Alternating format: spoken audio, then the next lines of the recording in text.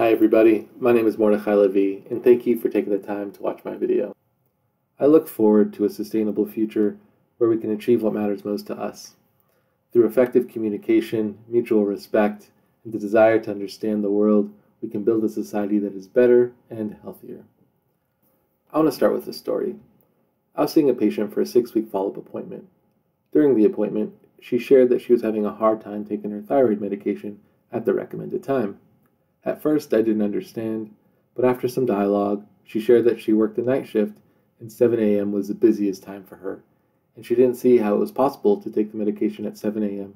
on an empty stomach.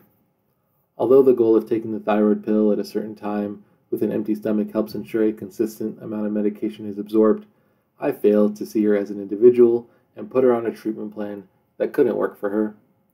Although this is a simple story with an easy answer, too often our interactions with the world are regulated by rules that have little meaning to us and make it hard for us to achieve our goals. If we live in a collaborative community where daily practice helps us be more considerate of those things that are universal, I know we can achieve a better and healthier life.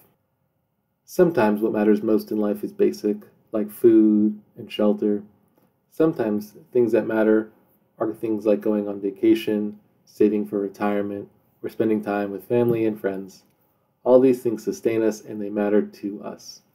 Engaging and learning about each other is the best way to understand the diversity of what matters to all of us. As we learn more about the things that matter to the people in our communities, what matters most to us also changes. I look forward to sharing with you my stories, my experiences, and the things that I muse about so we can connect, we can learn, and we can grow as we create a sustainable future that matters most to us.